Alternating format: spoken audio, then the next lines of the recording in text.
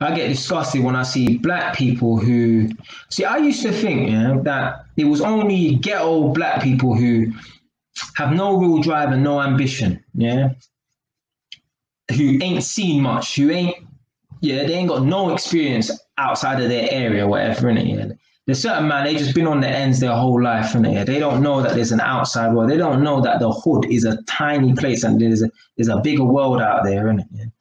But when I hear successful black people, yeah, like David Lammy and yeah, you know, like these yeah black MPs and stuff, and they're talking that rubbish. I'm just like, oh man, there's no hope. There's no hope. Yeah, when you got the best of the best still on that bullshit, still on that victim mentality, I'm like, we we ain't got no hope. We got absolutely no hope. When we got the best of the best, right, with that mentality, we ain't got no hope.